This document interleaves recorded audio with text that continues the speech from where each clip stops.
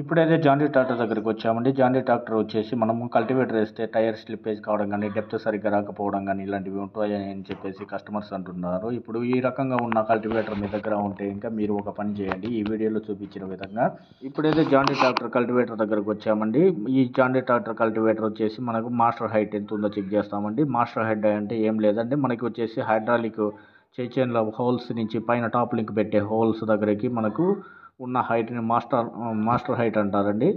ఈ కల్టివేటర్ యొక్క master height వచ్చేసి మనకు దరిదాపు ఇరవై నాలుగు ఇంచులు ఉంటుందండి. అదే మీ దగ్గర ఉన్న కల్టివేటర్ యొక్క మాస్టర్ హైట్ వచ్చేసి ఎంత ఉందో ఒకసారి చెక్ చేసుకోండి. ఈ మాస్టర్ హైట్ అనేది ఇరవై నాలుగు ఇంచి ఉంటే ఇంకా జాండీ ట్రాక్టర్కి కల్టివేటర్ అనేది సరిగ్గా పనిచేస్తుందండి. అదే మీ దగ్గర ఉన్న కల్టివేటర్ హైట్ వచ్చేసి తక్కువగా ఉంటే ఇంకా కల్టివేటర్ అనేది జాండీ ట్రాక్టర్కి వేస్తే సరిగ్గా పనిచేయదండి. సో